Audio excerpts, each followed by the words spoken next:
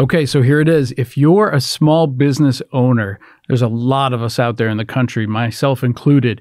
If you're a small business owner who's been thinking that at some point down the road you might want to transition out of the business, whether it's selling to your partners, selling, transitioning to a family member, or selling to a third party, an outside party. Um, all of those things were what we just got done talking about in our podcast here in the studio yesterday.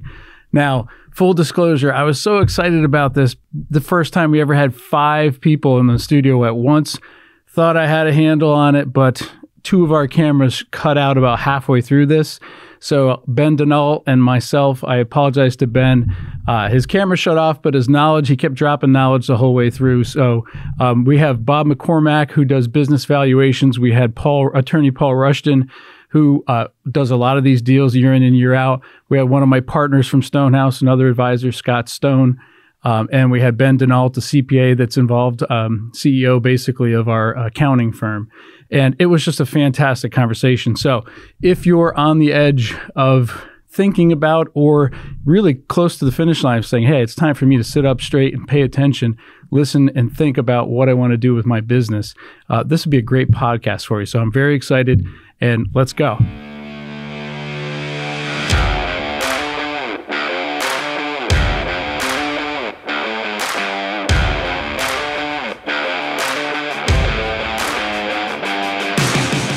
You know, I think the way I would describe our conversation today is if you're on the edge, on the verge of, of, of selling your business uh, or really thinking about it, this is probably a great conversation. But I think there's a lot of people that benefit from, you know, if they're further out, maybe not like within a year or two, maybe they're still five years away. Maybe we can talk about how, how they can position themselves. But before we get into like the nitty gritty, just let's just go around the room real quick and then give your 15 second introduction of yourself and what you do. Scott, we'll start with you. Hi, I'm Scott Stone from Stone House Investment Management. We help people with financial planning, and in this case, pertinent to this podcast episode, we help business owners plan for their future retirement uh, needs and help them manage money that might come as the um, as the effect of selling their business and help them manage that money over time so that they have income for the rest of their lives. Great. Bob? Hi, I'm uh, Bob McCormack. I'm managing partner at Murphy McCormack Capital Advisors. We're a regional investment bank covering the Mid Atlantic states. Uh, primarily, we help buyers and sellers in the, the buying businesses and selling businesses. Uh, we do a lot of business valuations, probably about 20 to 40 a month. And uh, we also help with corporate turnarounds and arrange financing as well too. Uh, team about 12 people. And we're also founders of the Cornerstone International Alliance, which is a um, multi-state and multi-country uh, M&A group. Hmm. We could probably talk for a good hour just to what you guys do. But yeah, right, yeah. Paul, what about you? Uh, Paul Rushton, uh, managing partner of Rosenn Jenkins and Greenwald. We're a full service law firm, and uh, we focus our business and finance department focuses on full service for corporate clients, but we do a lot of buying and selling of uh, businesses. I'm Ben DeNault. I'm the managing partner, Stone House Tax Business Municipal Accounting. I'm a CPA. We deal in, uh, in income taxes, corporate, personal, um, as well as planning, estate planning, and uh, bookkeeping, payrolls, the, the full service. Awesome. So let's start here. Let's start big picture, and then we'll zoom in. I think there's a lot of places we can zoom in. But one of the things, and I'll ask you guys – the reason we do planning for almost anything is to avoid the oh no's and the and the pitfalls and the landmines. So, what give me give us some examples of things that you most commonly see that blow up a deal, like or, or, the deal never even gets to the table. Like, what are things that people are making mistakes? I mean, anybody can jump in, but I, I, I would uh, say the the bigger things that blow up a deal is is again not having the planning. So. Um, mm-hmm and and, and it's good Ben's here because the tax issues often are a big issue. They don't recognize what the net proceeds are going to be, so they think they're going to get fifty million dollars in net proceeds. In reality, we're getting twelve because of taxes, debt, and fees, and all those type of things. Um, and typically, there's a valuation gap that goes with it, or there's there's customer concentration issues that come in, into play. Um, they don't think about how to transfer the uh, the the co- contracts. I mean, Paul and I, you, Paul and I, were talking about that earlier today. Some vendor and, and customer contracts require certain uh, um, activities to make those transfers happen. If they're not planned out well, um, it could really blow up a blow up a deal. That's just a few. Maybe in the parking lot, I was talking to somebody about family matters. There's uh, mm-hmm. ownership issues that are not resolved, or just the whole family dynamics. I mean, family dynamics is probably the one that, that we see a lot of, regretfully, in family-owned businesses. Yeah, that's actually Bob why I, I, was so excited about today to get all all you guys in the room because for someone really take it from the start to the finish line, pretty much most of that's covered by who's in the room in this conversation today. So, Paul, what about you? Do you have anything more to add to what yeah, Bob said? well, so I think one of the big things that we talk to clients about is when someone comes and looks at you to buy you, it's partially a confidence game, right? So they come in and they look at you, and the more that you have everything under control, and everything spelled out and everything ready for them to take a look at. Bob and his team set up a great data room when these things happen with all the documentation they're looking for. The more that you go down the road and you don't have your act together, you don't have the documents. You can't find the documents. You don't know exactly what approvals you need and everything else. It makes the buyer wonder whether you're a well organized company that they should buy. Hmm. Because the biggest thing we talk to clients about all the time, and this is an analogy we use that I think really resonates with people when someone's buying a business, it's a lot like when they're buying a car. They're expecting it to have certain features, right? Like like air conditioning, this, that, the other thing, and they're expecting it not to have problems like a lemon law. There's liens against it and everything else. So what they're looking for as part of due diligence is they're really trying to make sure they can check the boxes like, okay, it doesn't have any of these problems that we're not looking for, and it has certain of these features that we're looking for. One big one Bob and I were talking to a client about today is do you have sufficient net working capital so that when we take this company over, we're not going to be underwater and right. cash strapped? And so, what I talk to people a lot about in in getting ready for a business, we I wrote an article one time called "Utilizing the Calm Before the Storm," and the calm is the the storm is really the due diligence process, the selling process. It's super stressful, but if you start before then and really get yourself all these steps together, you can be ready once Bob and his team present you with a really great offer. You're ready to follow it through and get the deal done. Yeah. And so, what I've seen most often where a deal goes sideways is two things. Number one is all those things don't get answered in a way that makes the buyer comfortable, and sometimes they walk away. Or it takes so long that the deal loses its momentum and then sometimes it just falls apart for that. I'm sure you've seen that a bunch bob. We have that going on with the deal right now. It's just it's taken too long to get done. Everybody's cranky with each other. It's mm-hmm. just it's a bad scene and i don't know if it gets done. So preparing in advance so that you have your for lack of a better term your ducks in a row that is really kind of what I think is the best chance to make sure that your deal goes through and goes through without having issues. Right. Yeah, I would imagine it sets a tone right off the bat, right? So if they ask you for these five forms and you're, I don't know what three of those forms are, right? That's probably headed in the wrong direction. So, any more add, add to that, Ben? Uh, and the other thing I would I would add that I've I've seen quite a bit is is waiting until the year you want to retire right. to try to start selling your business, yeah. right? I, I, see that constantly. Um, if that's on your five to 10 year horizon, you need to get started. Right. Mm-hmm. You know, um, I, I, I, see pretty frequently that, well, I don't have any real intentions to retire. Well, then, you know, mid 70s show yeah. up and you don't have a succession plan. Well, now it's, it's late. Sure. Right. It's late. So don't, don't wait too long to get started. Ben, there's a national stat out there: eighty percent of businesses do not have a succession plan. Yeah, mm. and, that, and we were with our um, European and Canadian affiliates this past weekend, and some uh, affiliate from Brazil, and it's the same across the world too. It's yep. just amazing that people don't plan. Absolutely, but but in their defense, they were planning on something different happening mostly like for family owned businesses hmm, yeah. the plan was for the next generation Kids to take over. over and then sort of generational things happen and people were like you know i don't want this business. Right. You know i want to go do x y and z. And so then it was like you got to recalibrate everything and figure out okay if that's not going to happen what do we do? Because we knew a ton of businesses that were like i always just thought my son was going to take this thing over. Mm-hmm. and he tells me i'd rather you know do anything else but doing this. And they're like you know it's awful. So it it they definitely there's not enough planning going on but the planning's harder because there's not as many yeah. solid succession plans as what people had had in the past. Yeah, and well, and, and Paul, even transferring to family or employees, you still need to plan Right. because there's the liquidity event that they probably need to live on, and that's where the, the wealth management advisors really can come into play here is helping Mm-hmm. that plan. That you know, because ninety percent of the liquidity is in that business too. So if they're going to transfer it to the kids and haven't figured out how that liquid liquidity event's going to happen, they're going to be financing that for a long period of time. Yeah, and to you know to add to that bit a little bit, if if it's going to the kids, a lot of times it's going at a discount, right? And that discount's a gift.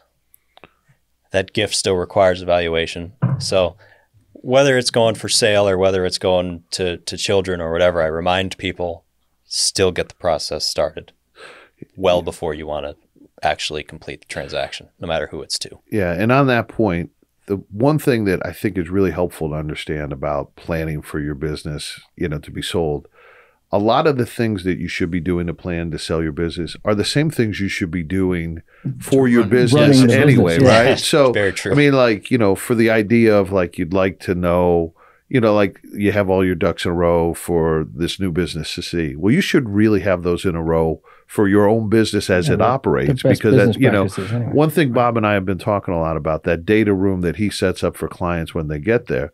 We've been we've been suggesting to clients that they just have a data room set up for themselves for the operation of their business in advance, mm-hmm. so that you know for contract administration and all the other things that might come up, or they share it with you guys because you need to know something, or they share it with their tax mm-hmm. advisors.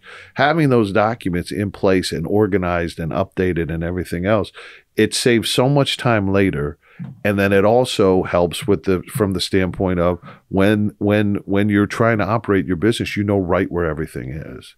I told a story to bob earlier we are meeting earlier and this is a good story at this point because it really helps. We had had a client that was in a uh, they had a buyer that was doing a series of deals long series of deals and they were like third in line and they had their stuff together so much that they got bumped ahead because it was hmm. taking too long to get the other deals done. And then ultimately, you never know when the buyer's going to stop buying. And so our client ended up being like the last one that they bought before they decided they were going to end it. And I always thought about that. I tell clients that story all the time because his organization was really what allowed him to become you know a better target uh, an easier acquisition for this company and so you want to do whatever you can to make yourself as easy an, of an acquisition as possible from a from a cost perspective and everything else because you're just way more attractive Yeah, really just being empathetic, right? If Yeah. you're trying to make yourself look pretty for a sale, just think if you were the one buying, Right. what would you want to buy? Um, there's so many directions. I'm like. I'm so excited that we're having this conversation. um, so let's talk about. uh, So to Ben's the end of Ben's point there about planning, right? When is it a good time to start planning? I guess it's really going to depend on the industry, the type of business you have. Bob, you're shaking your head already. You got Yeah, I. I, I, we like to see people plan three to five years or more in advance. okay. And I think it leads to some valuation thoughts that, that you had as well here. But we like to do that valuation five years in advance.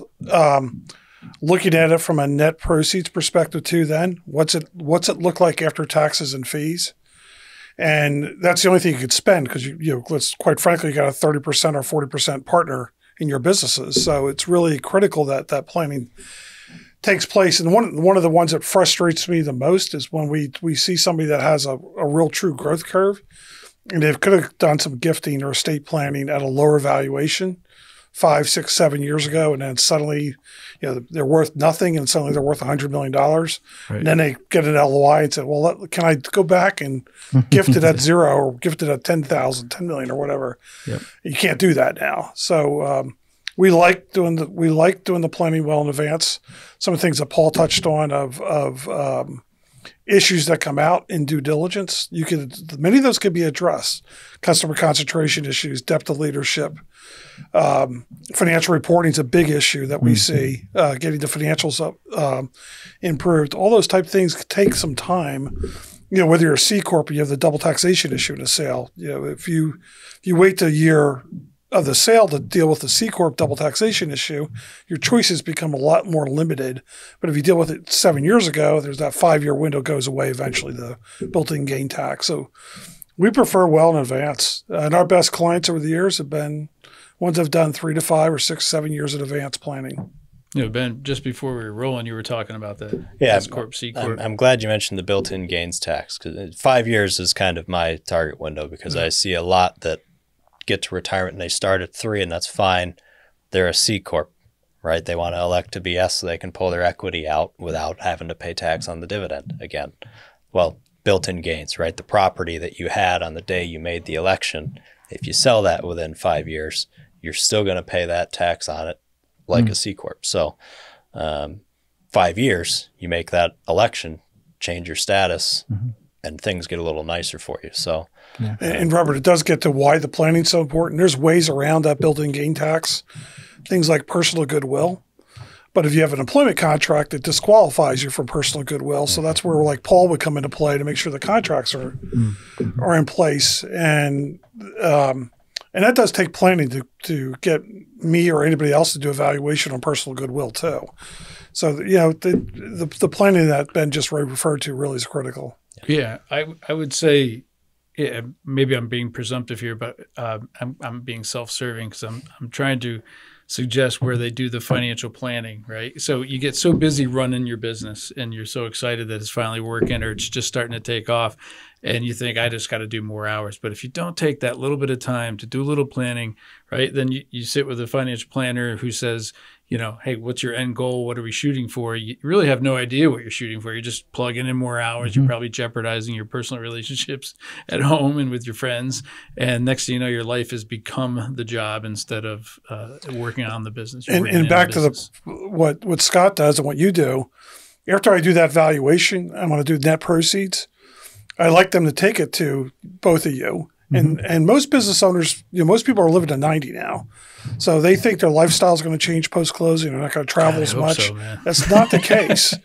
So you really need a liquidity event that supports you to live to 90 the way you want to live, Correct. along with the other nursing home expenses, things along those lines. That's not going to determine the business valuation, but it does determine things that how do we get there from a planning perspective. Yeah. On the business side, you get there on the, on the personal side. Yeah, the the first part before you start marketing your business is trying to determine can I afford to retire? Can I sell my business? Can I exit? What does that mean? Am I going to parlay that into a different type of career? Am I going to work somewhere else? Am I going to start a new business with some of the proceeds? And um, so I think you have to start from the emotional aspects of why am I selling the business? Is it the right time to sell the business? Who am I selling the business to? And then once you get to that part, you can uh, move forward. But one of the interesting things, uh, an actual client um, uh, example that I worked with uh, with Bob actually was um, almost an incidental entrepreneur uh, who just kind of started a side hustle in addition to their primary uh, uh, work and built a very a nice, reasonably large local mom and pop business. But they had been running it uh, with the primary goal of maximizing the amount that came into their pockets. And when you do that, the the accounting gets a little weird. And so coming back to that kind of five year time range, uh, when Bob came in and, and looked at some of the uh, financials, they didn't look good, and it was not ready to be marketed. And so it took a good three to five years for those uh, different uh, issues within those financial statements to be worked through before it could get to the point where you could bring it to market. And so um, there's a lot of different aspects in there that you have to consider, and starting planning early is uh, very important. Yeah, I mean, you know, the one other thing that's sort of I agree with all the time frames everybody talked about, but as we go through, especially now that things have changed so much, like I, I tell Bob sometimes we used to we do buying and selling, and it used to be about equal. Every ten deals we'd have, we'd probably buy five, we we'd sell five. Lately, it's been more like eight to two or so, nine to one selling, and and so whenever we from the moment we start representing a client even if it's at the formation stage, we're already talking about preparing yourself to sell. Because as you go along, you'll make lots of decisions. And as you do it, all of it should be with at least a mind that you may sell. So I'll give you, for instance, um, you talk about gifting, talked about gifting. There's a lot of good things that could happen from gifting. But as we gift to the next generation, one big thing we have in mind is yes, but if we ever want to sell, you're going to sell right along with us, a drag along. So, you know, a lot of times people bring on their kids, they didn't think anything of that. Now we want to be in a position, especially since a lot of times these deals are not always asset deals. We'll talk about structure later. They're not always asset deals. They're more and more stock deals, especially in connection with an F reorganization. So, what we're talking to clients about up front is listen, you may need to have that, you know, your children that you're gifting to agree to sell later, and they might have to sell their stock so it's not like 51% of the shares are going to be able to authorize an asset deal like you normally do. You might need to get everybody involved. Now, mm-hmm. there's some ways around it, but especially private equity likes it much better if it's wired up front mm-hmm. that you can make it happen. So when we do the shareholders agreement with them when they're doing the gifting, we have a provision that says if the majority of shareholders want to sell, regardless of the form of transaction and regardless of if it's a re- F reorganization or anything else, those children have to go along with it. Mm-hmm. And so it's pre wired. So when you're gifting and everybody's happy, I've got to ruin it by bringing up this drag along, okay. which has yeah. a very unfortunate name, but that's planning to sell. Mm-hmm. And that's making it work better so that as they're going through their due diligence and everything, a private equity firm doesn't have to worry like, oh, one of these shareholders may not want to do it. Mm-hmm. And the one thing that, you know, you want the comfort of that going into it because sometimes – um, you may not want to tell everybody about the deal way way ahead of time. Right. You might want to tell them later in the day where everybody spent a lot of time with the whole thing and having the comfort of having that provision in place. So it's just an example of how you know, yes, 3 to 5 years all that stuff, but almost always as you're planning and you're making steps, keep it in mind where you might want to go with the sale of the business. Mm-hmm. Yeah, my mind's racing in a bunch of different directions here and I might be a little too early. I was going to talk private equity versus strategic buyers and things like that. But before we get into that, um, on the accounting side, mm-hmm. like so getting all your ducks in a row, you know, I think so it's the financial planner. Scott, would you say the financial planner's role is to s- start big and say, what are you trying to do? Yeah, I kind of see a financial planning role as kind of bookend. So you start at the beginning and say, where is your life now? What are you trying to accomplish? What do you want to happen from this point forward? And then if that leads to sale of the business then you engage the rest of the team here. Right. and then at the end the business is sold and there's a you know some sort of payout uh, and you have to make that last for potentially the rest of that person's life. And so financial advisors are kind of at the book ends of the process i think. Yep. Back to hit, uh, scott's point one of the ideal ways to plan well in advance is we really want our customers to be able to have all five strategic options sell to the family do a management buyout, potentially do an ESOP, do a private equity type transaction or a strategic. And if you do the well for strategic or private equity, you can handle the, the other one. You know, ESOPs, there's other disqualifying factors, but if they could plan when when they're dealing with Scott on the personal planning piece along with the business plan, if they could have that in on their mind, mm-hmm. there's no guarantee their kids are going to buy the business, yeah, right, but or there's no guarantee their employees want to buy it. But at least have a a plan that they're they're marketable, as Paul said, marketable to all the different buyer universes out there and to the financial institutions are going to lend to them too. Yeah. yeah. I think that's where I'm going with, right? Ultimately just getting or back to organization. Be be as organized as you can, resourcing, outsourcing where you need to, right? Yeah. And I think Ben, we see a lot I know you do on the accounting side where people hey, they were a one man band. They started out and sure. they did their own books, or they and their spouse, and now all of a sudden there's 20 people and their payroll is overwhelming, and they're working in their business constantly, but not on the business, right? And yeah. adding a CPA or adding some good accounting back backstopping what you're doing can be very valuable, right? Yeah, they, you know, again, I'm I'm biased, but I think you should you have that all the time. Okay. but but you, you know, we're cycling back to that the buyer's comfort zone here, mm. right? I mean, if they get in and they start this process and your your bank reconciliations like aren't right. If we get like that basic to where the accounting the general ledger work is not up to snuff uh, then they're not going to have a comfort zone that the financials they're looking at are even usable. And what are they buying? You know that that that kills deals before they start if they get in and the financials aren't quality financials. Uh, and it's an easy thing to fix, right? It's it's accounting isn't rocket science, and I will say, but you know, to to just get the financial data right, um, you should always be doing that. But especially if your if your goal is to sell, uh, to get everything as as neat and tidy as you can. Well, and, and Ben, you've probably seen this, but one of the almost every size deal we're seeing now is getting a quality of earnings audit done, Mhm. and that is pretty comprehensive. Yeah. To the um, the business owner, if they're not prepared, it could be a real challenge. And back to the tax planning part of that too is we still see a lot of cash basis financial statements or Yeah. tax returns that really should be on accrual, and then that tax impact. You got a C corp with cash basis and it really should, and you get the accrual impact to it Well, for the buyer. Boy, the tax bill is just, um, they're just kicking the can down the road, anyways, in taxes.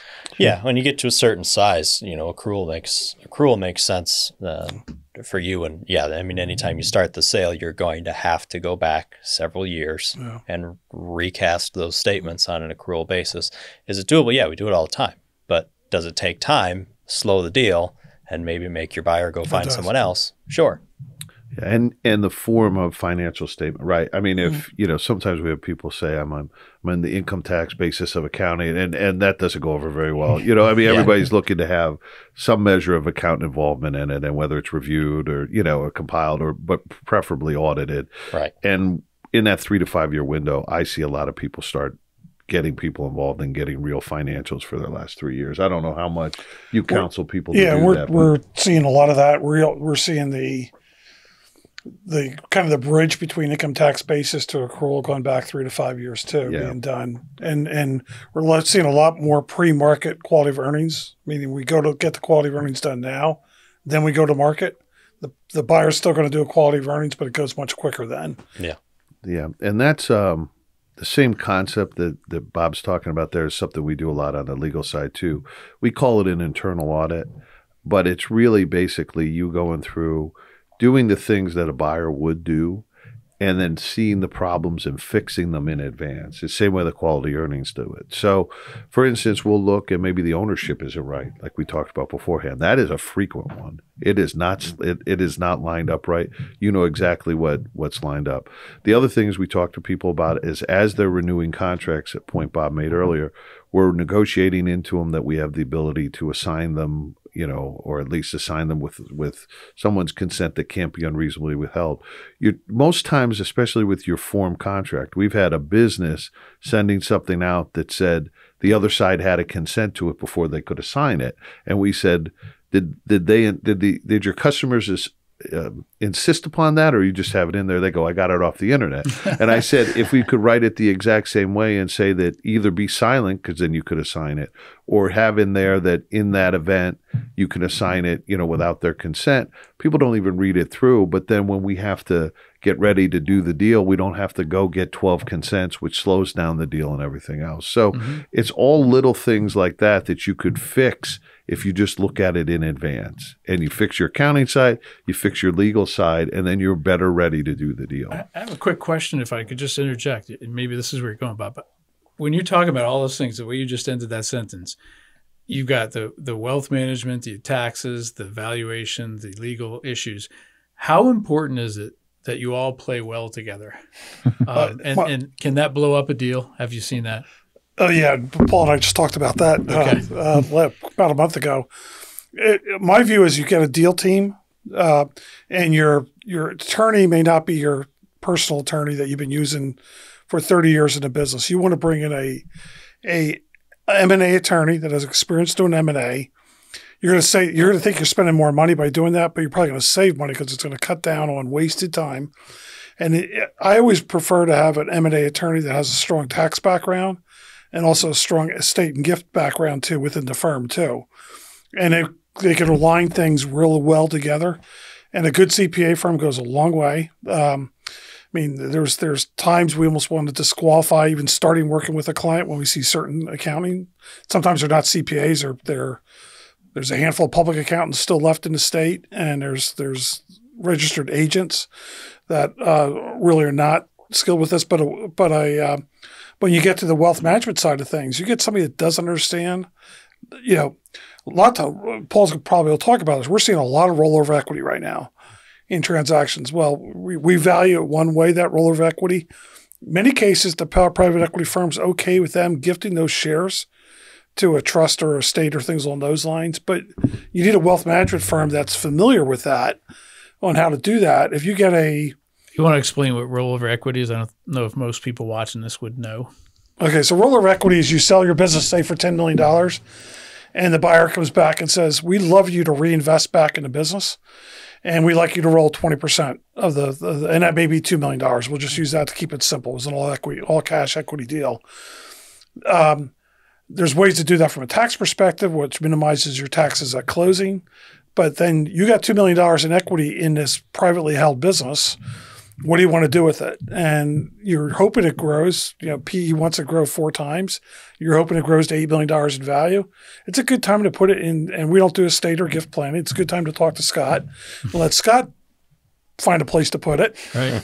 and uh, and at some point, there's going to be a liquidity event that comes with that too. But planning that well in advance, it, if we're all aligned, and you're going to want Paul as an attorney agreeing with that rollover equity, that's shareholder agreement. Does it make sense what we're doing? Everybody needs to be aligned to those things. If you mm-hmm. get one, we had a deal recently just took forever to close because this the sell side attorney wasn't computer illiterate, but also struggled with M&A. I haven't done a real good size M&A deal in years. So just cross off the reps and warranties. Just cross off the reps and warranties. send it back to Paul. And Paul wasn't the attorney on the other side. You know, if you're in New York attorney, you get that back. You're going to say, well, I'm wasting my time on this thing. Mm. Right. I'm happy to charge my client fees, but sooner or later that private equity buyer in particular is going to say, we're wasting our time. This is never going to close with that attorney involved. Yeah, I was I was literally just going to say that. So I think the biggest thing that a qualified team can do is two things. Number one is before the deal, you know, you got to convince a client that this is the right thing to do. And if everybody's of one voice, now everybody should disagree if they don't agree, but if everybody's done this enough and they know it's the right thing to do, the client usually goes along with it. But it's hard, right? I mean, a lot of the things we're talking about, doing a quality of earnings, you know, having a legal audit done, it all costs money Sure. and time. Things that, you know, a lot of people, as they're running a business in their business, they don't have the time. And sometimes they don't think they have the money, even though it's going to save them money in the long run. But if you have a dissenting voice for someone who doesn't really do this all the time, I feel like it's the one voice that the client says, "See, I don't have to do this." You know what I mean? And Yeah. and that's big. And so having a, a team that obviously you should disagree if you think it's wrong, but who does it all the time, it's more likely the client's going to get good advice. The second thing that comes in on that is once you go through the deal, one thing that we talk about all the time, and Bob and I will talk about a lot, is what's quote unquote market for a deal. Hmm. So reps and warranties, you're good. You're they're in every deal, and if you do these all the time, you know which ones are fair. You know there's usually a range of negotiation on any issue, and whoever has more leverage. You know, if we have very limited leverage, the reps are going to be stronger. If we have better leverage, they're going to be a little weaker. But it should all be within a certain range. If you know that market and your broker knows that market and your accountant knows that market, you can talk clients out of trying to negotiate things that they're mm-hmm. never going to get mm-hmm. ever in a 1000000 years. And it makes you look bad to the other side and it wastes everybody's time and money. And sometimes it prevents a deal from getting done. But clients don't know. I mean, they, unless they've mm. sold a business previously, it's like they just sent us a 45, 45 page document. I can't make heads or tails of it. They need advisors who could say, listen, I do this all the time. Bob and I do this all the time. Ben does this all the time. And and we see these all the time. This is what it looks like. Here's the range of negotiation. Let's figure it out. If everybody's on the same page, it's great. All of a sudden, one advisor's like, we shouldn't have to do any of this stuff. Mm-hmm. It's a big step back. Yeah. so for me, that's a big deal. Really big deal. Mm-hmm. Mm-hmm. Yeah, I would have to say just experience. I mean, when people love to come to us when they're about to retire because they know that we've dealt with hundreds and hundreds of people moving into retirement. Same with what you just said. With you know, uh, for us, it's managing the wealth, but what you're talking about is a, is kind of a specialty. To be quite honest with you, um, which actually brings me to another question I wanted to ask you. So my my problem is I I, I listened to uh, the audiobook uh, uh, Built to Sell. I really love that book, and uh, it brought up some interesting points. One of the things they talk about in that, and we've talked about with clients, is is narrowing your focus. So people that have a good business, but it could be a great business if they focused on what they're really good at instead of trying to do everything.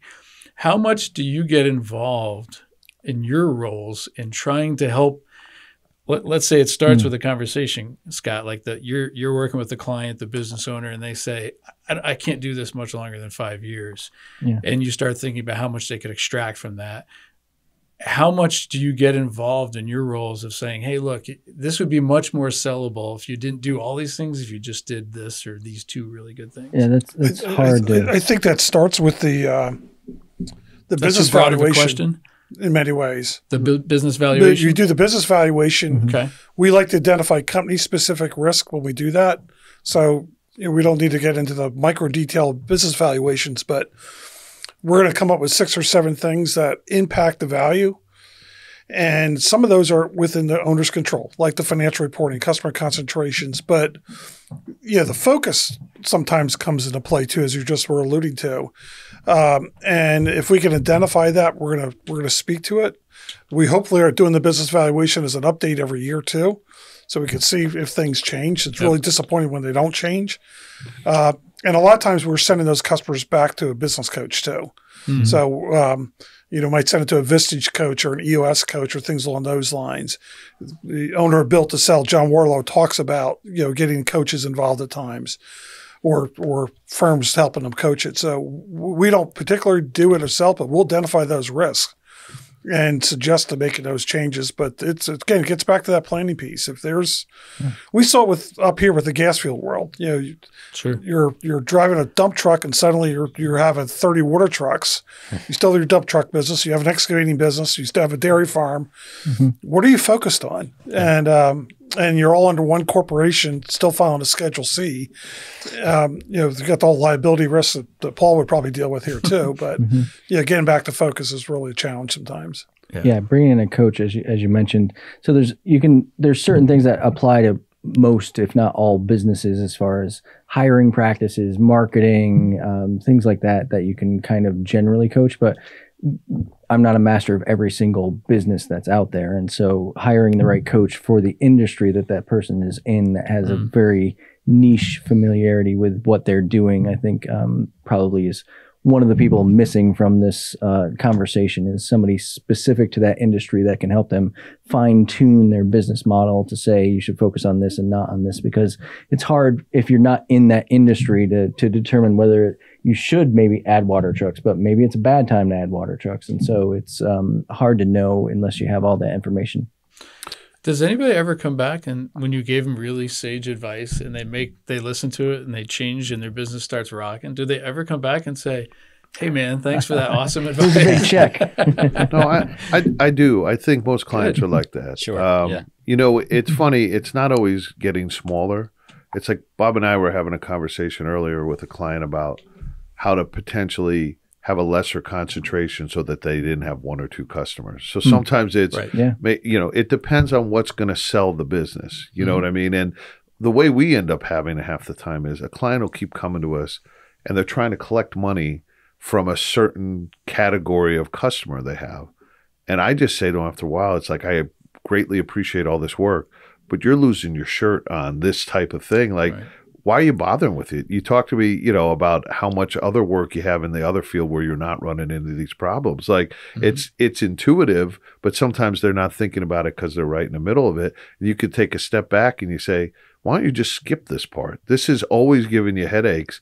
Just don't do the work anymore. And they mm-hmm. go, yeah, that would that would be great. And so sometimes it's as simple as that or like what Bob and I were talking about, changing your concentration. So sometimes it's things you'll see as part of the internal audit that you say you can do better, or you're always getting sued on this, or you've got these collections that are so old on this one type of business and you just sh- you should stop doing the business or at least stop working with those customers mm-hmm. but you know but that's the kind of stuff that can really help later and sometimes it really helps your bottom line yeah and Bob mentioned that you know having having water trucks in your excavating business, right? I mean, we see that with small town business, small business, a lot. That there's a lot of really unrelated activities all just jammed in under one shell. Um, so I love segregation. You know, I, I am telling clients all the time, you have wholly unrelated activities shoved under a, a related entity, right? So let's get these let's get these out right let's let's have an excavating business and a water truck business see if one can stand on its own two feet first and then go from there right and then If it does well, great. If it doesn't stand on its own two feet, it's time to move on. And then you have the Yeah. the other side doing well to sell, right?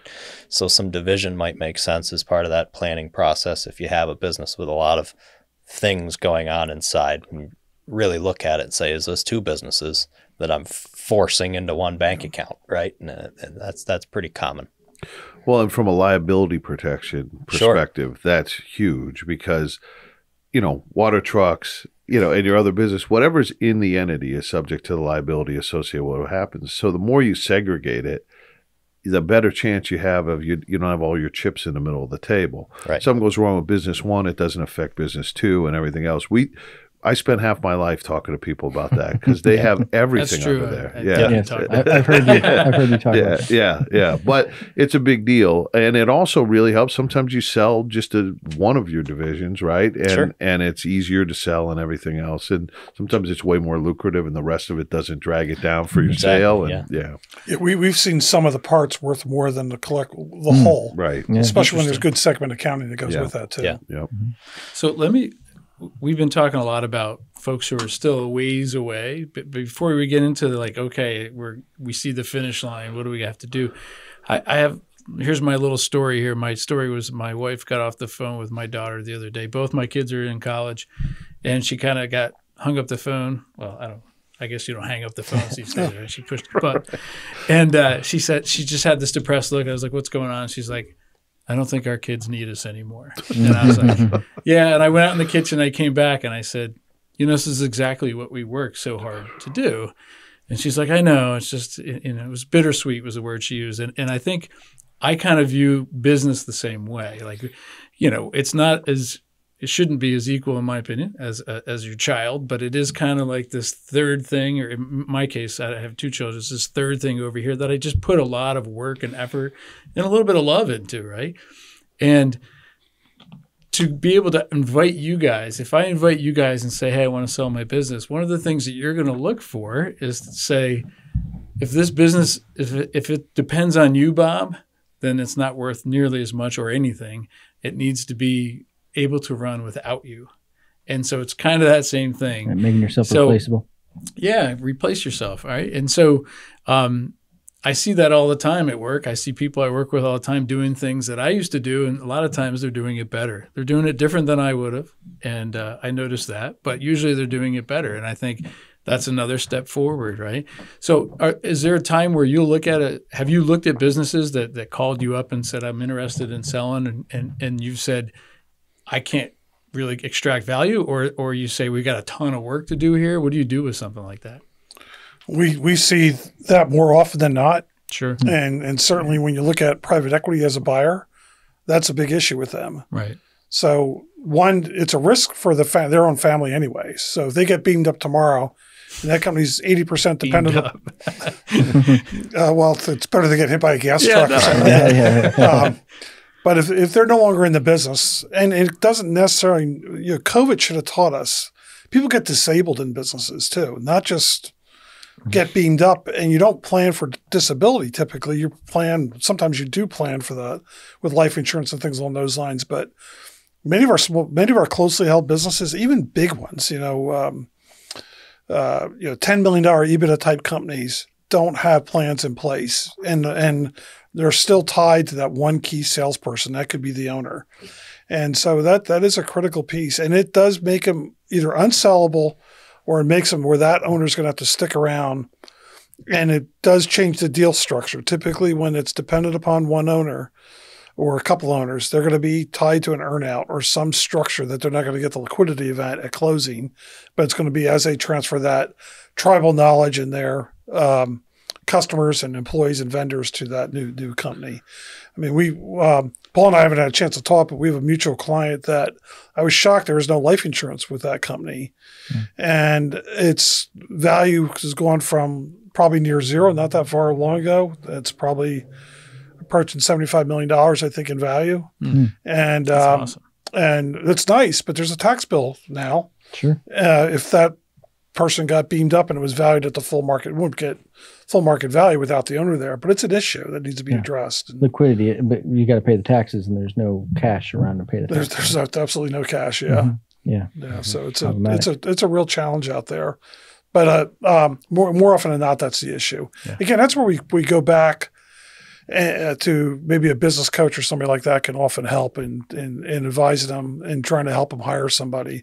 Uh, some of our best sales are when they brought in that next layer of management. Mhm. And then um, the other thing we're doing a lot more, we're seeing a lot more incentive equity. Paul does this or phantom equity, where you um, bring in that next layer of leadership, give them some sort of equity and a, and some sort of structure that they stick around, and um, and you're building that future for the company. So that gives you the alternative to do a management buyout, strategic or private equity buyer coming in. You know they're getting key people, and uh, there's ways to do that with minimizing taxes too, at least for the employee.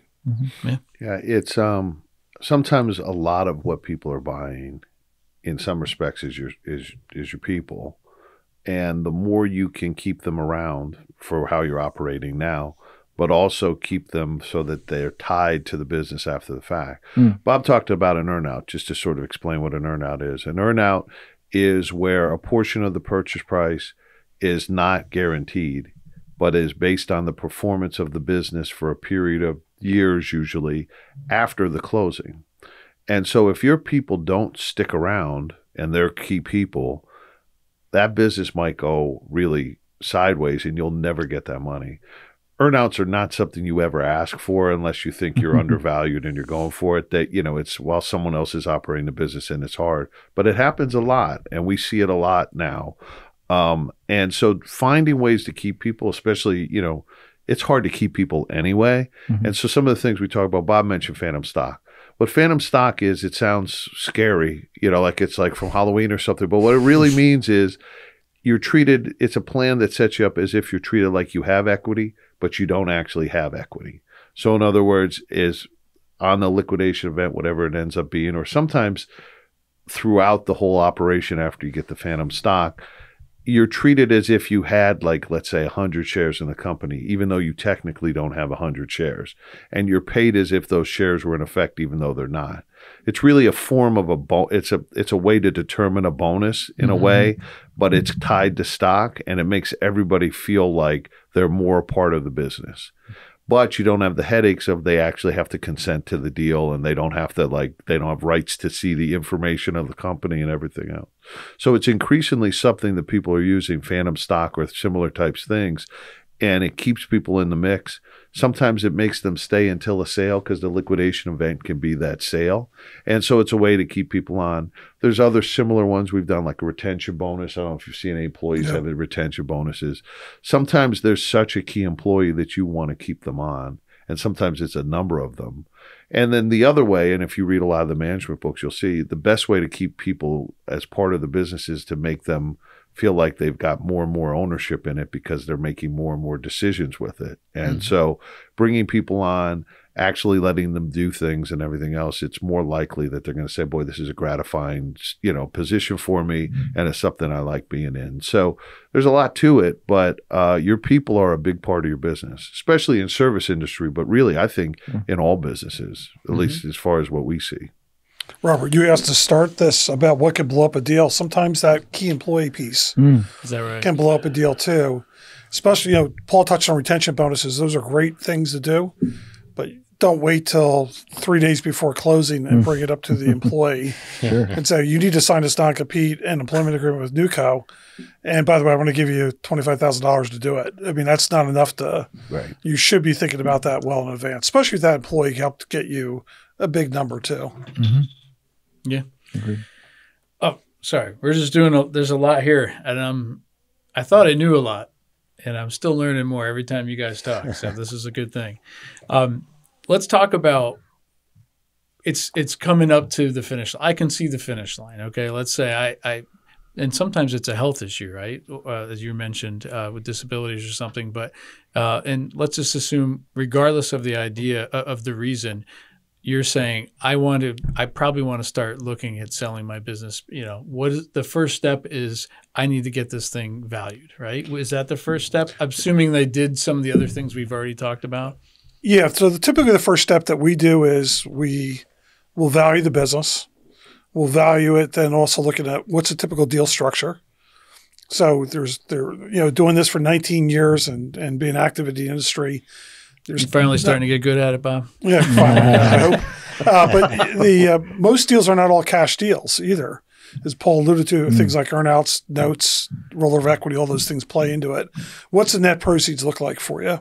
And what's a typical deal structure? And what's the buyer universe look like for your industry or your business? And then we typically want them to think that through. We also, uh, Scott touched on life post closing. We want them to start thinking about not just that from a personal financial planning, but you know, especially us males, we identify ourselves by our business, and you know, you're, if you're uh, you know X Y Z in the in a small town at the country club, now suddenly you're not X Y Z running that business anymore. But typically, what we do is that first step, the valuation, and then we go back to somebody like Scott and say, Scott, is you know this is what they think they're going to get from this. We're pretty confident this is a good number. Can you do some analysis? Does it make sense to do this? Uh, likewise, we're also looking at the company specific risk things. We're also telling them to get to somebody like Paul right away too, and their CPA. Uh, so we're trying to form that deal team right at that first stage, whether they want to or not. They're subtly being urged to do that. So you know, Paul touched on reading agreements. We had one a few years ago where my partner Sandy picked up reading the agreement in that valuation stage.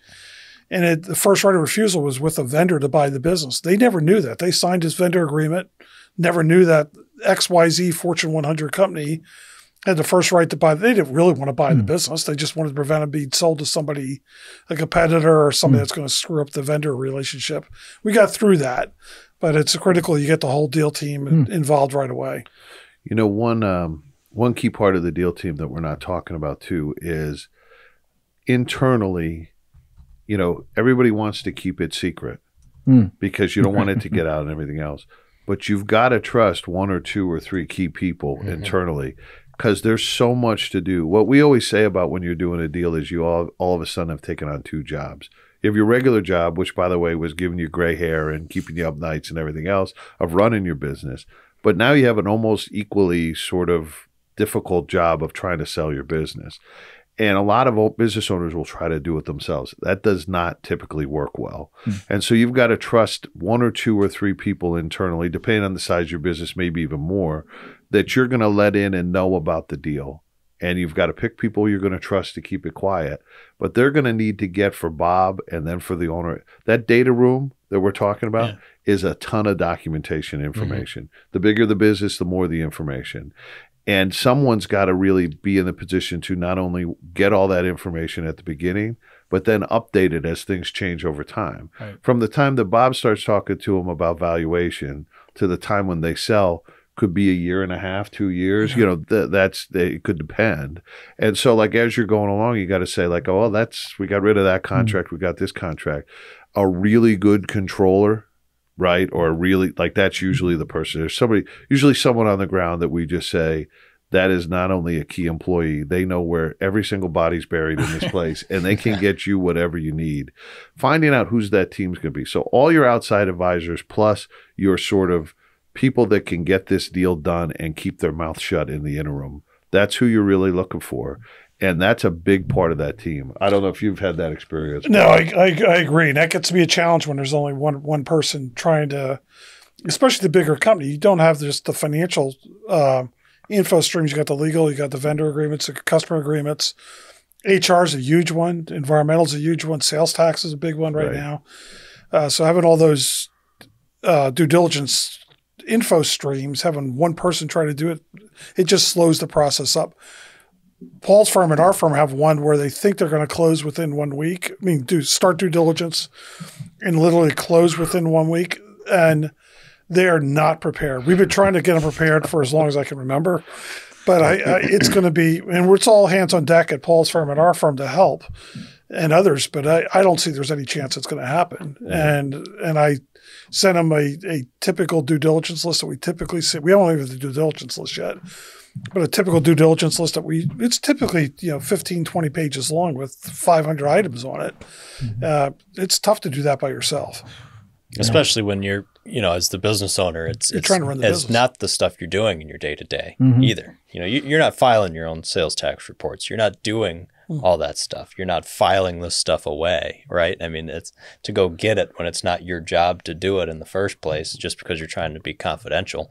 You may have no idea where Right. all that stuff is stored because that's not your job. as or, or you'll of your send the business. wrong thing, Right, right? I mean, right. that's that's typically. Oh no, like we replaced that three months ago. Right. Mm. Um, I do see that, you know, especially with smaller companies, Ben, sometimes the guy in your role, you end up doing a lot of that work. Yeah. For, Oh, I mean, I've yeah. seen that a lot Yes. where like, Yep. and, and we have a paralegal that she can find anything, I swear. And so like sometimes your outside advisors from can help with it, but sometimes an inside person you're going to need too. And So, if you're going to have to lean on your outside advisors, you know, consider your timing too.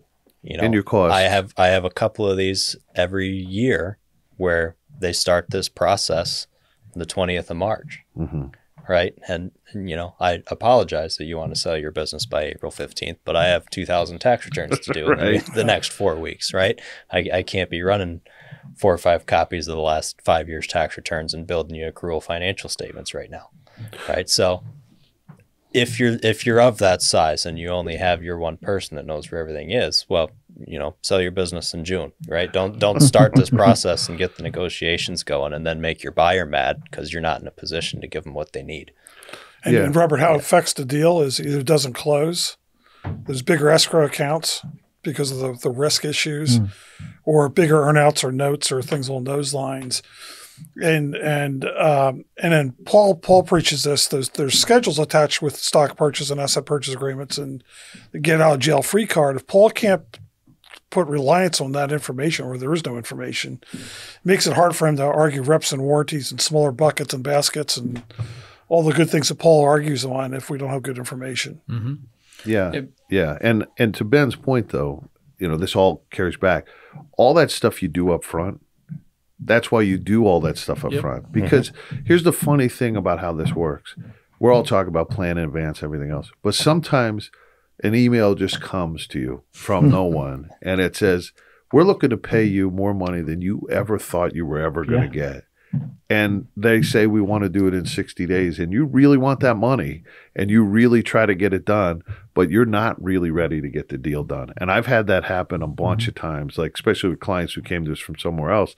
They just didn't have it in mind. They weren't even thinking about selling. Mm-hmm. But you get the right number and it comes in, you want to make it happen. And so the more you do all this in advance, and and when you're not stressed and you know you're not stressed like you're selling your business there's really no stress like selling your business. I bob and i see and ben see people do it all the time it's a stressful time and you're trying to figure out everything else and you're making a major life change and and and and you're like you know that is not the time you want to be dotting all your i's and crossing all your t's. You want to dot them and cross them well in advance. Mm-hmm. And so then you're not relying you know ben rightfully so it's like right around tax time is going to be hard right around the end of the year is going to be hard for me and bob because we've got so many deals going so the more you're packaged and ready to sell the more likely you're going to be able to sell in the window that that buyer wants you to Bob, you just talked about an asset versus a stock purchase, and I know Ben, you wanted to talk about that as well. Sure.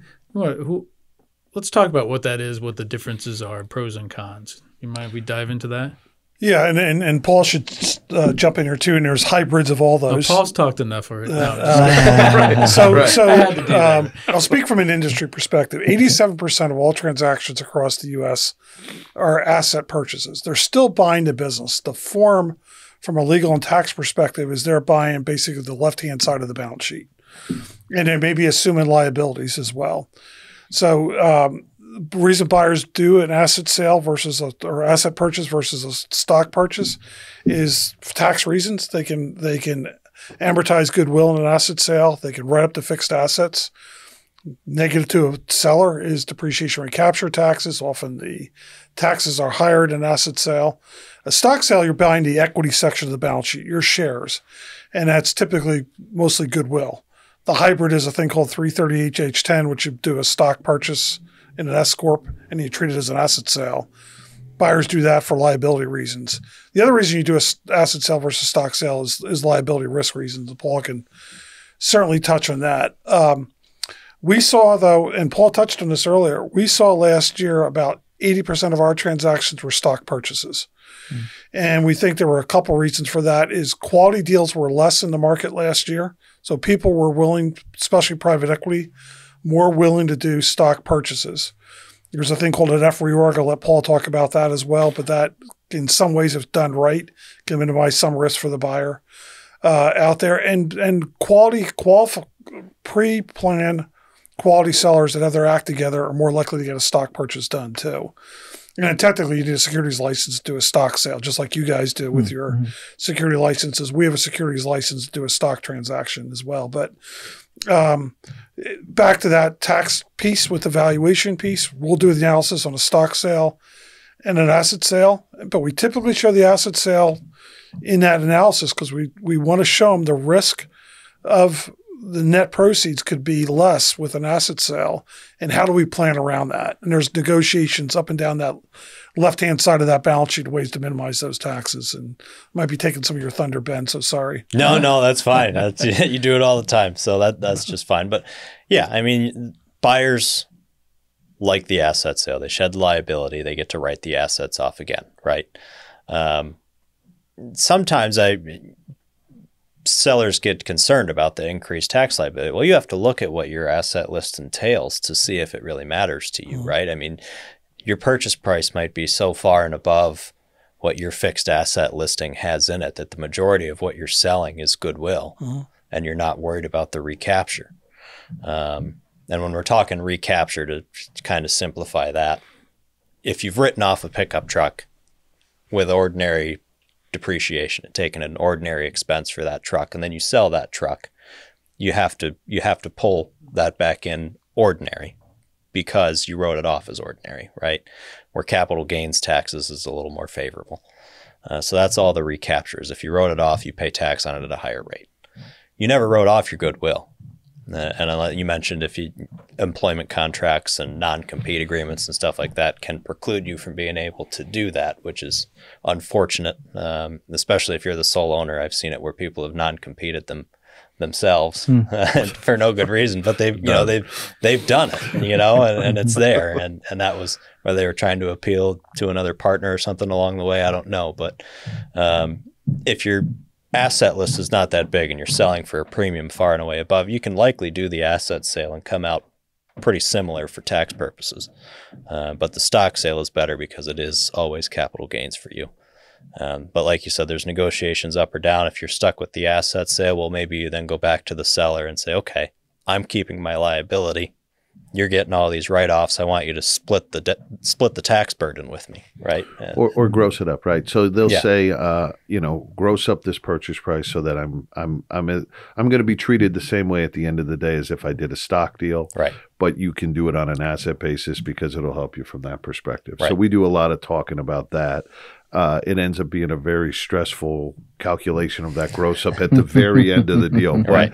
Uh, but that's the way it goes. Yeah, I mean, just to highlight a few things that these guys said. From a liability perspective, if you're a buyer and you're doing an asset deal, you'll say in the agreement, we're assuming only maybe none, but probably a very finite amount of uh, liabilities. Probably we'll assume some contracts. We'll assume any liabilities coming up after the closing that are first arising after the closing and don't relate to a breach of the agreement from before the closing. Other than that, it's probably it. Sometimes you, you sometimes you'll assume some uh, accounts payable, mm-hmm. but other than that, that's usually it. And then other than those assumed liabilities, you say everything else is an excluded liability and we're not taking it. Now the law doesn't exactly work like that. There's the possibility for mm-hmm. successor mm-hmm. tax li- successor liability in a number of areas such as tax in Pennsylvania, we have something called the bulk sales laws, which means if you sell 51% or more of your assets to someone and you never pay your taxes to Pennsylvania or you never do your labor contributions to Pennsylvania, Pennsylvania says, well, you sold 51% or more of your assets, we can go after the buyer. Mm. And so there's possibilities for other other liabilities in an asset sale that we work very hard to protect against. But in a stock deal, you take all the liabilities, subject to whatever you make somebody pay off, like debt free, cash free, all those sort of things. But generally, you take on all the liabilities.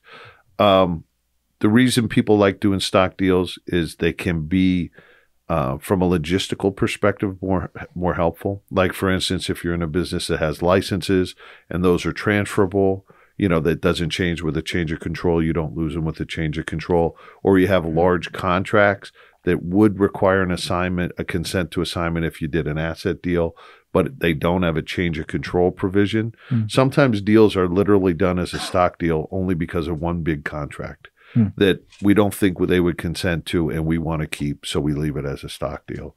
So that's generally um, why people do those liability wise and why people do them logistically. Bob mentioned an F reorg. Yeah, I was going to ask. Yeah. So that. what's what's been happening with, with F reorgs? And candidly, I've asked around, and some of the reason I hear people want to do F reorgs versus 338(h)(10)s is because they're worried about defective S elections, and they think that you know sometime away, you know, they're buying an S corp. At some point, it got blown, and they don't want the risk of it. Hmm. Yeah. Now, why all of a sudden that became in vogue? Because people have been doing this forever, and that wasn't the deal. I don't know. I think it might stem from private equity. I don't know. But long short, here's what happens with an F reorg. Um, right before the sale or in advance of the sale, if you thought to do it, you basically set up a holding company. Okay. And so, you know, what happens with the holding company is everyone who owned the operating company ceases to own the operating company. They, instead, they exchange their shares for the same number of shares in a holding company, which then wholly owns, uh, wholly owns the operating company. And so then when you sell, you sell the stock of the holding company, the hold that the holding company owns in the operating company, and you sell that to the seller rather than selling the stock f directly from the shareholders and everything else. Usually, when you do that whole thing, you do there's a there's the, you know that that that subsidiary, the operating company, then there's there's things to make sure that they're both treated like S corp. So depending on the format and everything else, there's a Q sub election. Uh, a lot of times they'll convert the operating company from an S corp into an LLC, so it's a disregarded. I mean, there's all these different things that happen, but long short is. Um, as they do that whole process, it turns it, even though they're buying equity interest stock, it turns it from uh, a stock deal into an asset deal by tax, Mhm. right? And so if you want it to be still taxed like stock, then you have to say to them, we want it grossed up. Hmm. But taking a step back and looking back what we said earlier and preparing for it, those drag alongs that I talked about that are in shareholders agreement or in operating agreements for a long time, for years and years and years, you'd almost see not see anybody do F reorgs. And it, it would happen once in a while, but they weren't normally set up for that.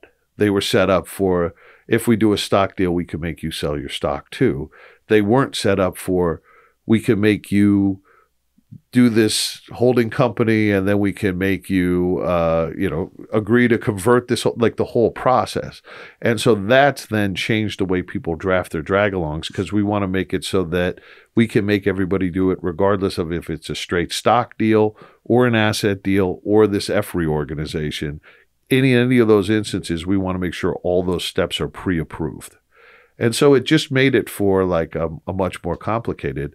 And then to Bob's earlier point, now with the rollover equity, we've also got to say that everyone will agree that part of the consideration for the deal can be equity. And so then you're going to, you know, be in a position where you're owning the equity after the fact and you're pre-wired to be, have to be able to do that Mhm. and sign all these things you'll need to do in connection with that rollover equity. So it's gotten pretty complicated uh, in Yeah. recent years. I, you know, and don't take this in, in the wrong tone, but when you just talk about what you just did, I'm reminded of the David Spade phrase in Tommy Boy. I'm going to retire with my fellow nerds to the nerdery. right. I think this is the nerdery right here. and I'm in it too. I'm not, I'm Yeah. not excluding myself. But I, to that point, though, I think that that is exactly why a business owner, a business owner is really good at what he or she's doing, right? Or they are their team. They don't know this stuff. You guys are in it all the time, and so a lot of the you're speaking in vernacular that they're not used to, but they have to trust you. So. Um, the experience you have goes a long way. An an example of why they should rely on back to the 338(h)(10) election, we had a transaction. This goes back uh, in my banking days, where we had a client that um, I was at the like a dinner uh, because we were going to help finance the transaction. They were going to do a stock purchase, and at the their M and A advisor and her attorney went out out of the both are out of the room or at the bar or something, and the comment was made, "Are you okay with this? We do a 338(h)(10) election with this transaction," and the seller said yes, not realizing they just agreed to an asset sale tax treatment of the deal, and you know they got the horse back in the barn in that case, but you know it's it's you you, you really do need to have the advisors involved. This one of you met Dave Weimer who used to work with me. Dave Dave always used to say it takes a village to sell a business, and I agree 100 percent with Dave in that sense. That's an interesting phrase. You know, uh, Bob, real quick, because it bears on that. One part of when you get your team together, though, is when you get your team together. So, what we see people do sometimes, the way this process sometimes starts is with a either a term sheet or an LOI, letter of intent. And sometimes clients think because it's mostly non-binding, it just sets out the basic terms of the deal. Most a lot of times clients will say, "Well, if this gets serious and we get to the part where we're doing the agreement, we'll bring in the lawyer, we'll bring in Bob, mm. we'll bring in everybody." The problem is that LOI includes some big things like, oh, say we'll do a 338(h)(10) election, or it'll be an asset deal, or it'll be a stock deal, or we'll do an F reorganization, all that stuff. But if you haven't talked to Ben and you haven't talked to me and you haven't talked to Bob, you don't really know what you're giving away. and you say, well, mm-hmm. you know, it's non-binding. Well, they'll say to you, we went into this in good faith on the on the uh, assumption that this was the deal. And it's really hard to overcome that when you're trying to argue it later. Because sometimes when we're brought in later, we go, well, our client didn't really know. And they go, well, Yeah. you know, Yeah. good well, for the them. other the other one, Paul's working capital has been a hot issue the last few years too, and trying to get the horse back in the barn after they negotiated working capital if they didn't know what they negotiated. yeah, right. And I would, you know, I'd add, you know, we've we've talked about, you know, Bob and yourself and I, and having a, a, a team, right? You need to make sure your team is talking to each other. Yes. right. Absolutely. I had, I had one of these a couple of years ago where where client's attorney was pretty much drawing a line in the sand over a 338, saying, "Don't do this. It makes it an asset sale for you," without calling the accountant to say, "Does that really matter?" Right. You know, and I I ran the whole projection of asset sale versus stock sale, and we were within like 30 grand Right. for income tax. Because it was all contracts you know it was a it was a smaller business with a limited amount of equipment and fixtures and that kind of stuff. Not you know there there wasn't real estate there wasn't huge valued contracts that they purchased and amortized or anything like that. So the asset sale was fine with me. Right. and they were drawing a line in the sand because they didn't bother to call me right? Make sure your team is a team and, and Ben bringing the a good accountant in that understands this yeah even before you go to market. That you do the stock sale analysis and asset sale analysis and hmm. assume valuation gives us the ability. What Paul talked about, truing that up too. right A lot of buyers are willing to true up that tax difference hmm. sure if they can get the hmm. 338(h)(10) election. So it's a negotiation point. Yeah. Yeah, I mean, the one other part about getting your team together is I think clients sometimes think like I'm going to have three, four people involved in this thing. I'm going to I'm going to pay double or triple. If it's a good team, you divvy up what everybody does and they do it, you know, the people who can do it for the lowest cost and can do it best. I'll give you for instance, Bob's team is really really good at doing due diligence. Really good at putting together that data room with some assistance from us, but really good at doing it and and at a much lesser cost. If people just have us do it, we're good at it too, but it costs more. I mean, it's mm. just being mm-hmm. candid. And so, you know, or helping them come up with some things about, you know, we have tax folks, but Ben can do it more quickly. It's it's getting the team together and divvying up what everyone's going to do and trying to do it in the way that's going to help the, the the client the most and they think maybe oh boy i've got three people involved i'm going to pay more when i think the reality is they're going to pay less it's going to take less time and it's going to be done better Can I ask you a question on that? So, let's say I've worked 30 years building this thing to where I am, and I'm at that finish line, and I want to get this deal done, and I want it to work as well as possible, but I also want the most value I can extract for for myself on my exit. Am I wrong to think that it's less important about the this the, the certain fee differential between your firm and, and another firm, or is it more important? Like for me, I, I would think I'd want to. I want th- the people on my team that I can trust, and I know that will work well with the others on the team. It might be a, a couple thousand more, or a certain percentage, a little bit more or less. it's is it am I wrong to think that it's more about the trust and and your expertise? It, it, no, it it, is. do people shop purely on price? They shouldn't. They shouldn't. I know that's going to be your answer. No, they shouldn't. But but to be honest with you, there's a couple things I would say.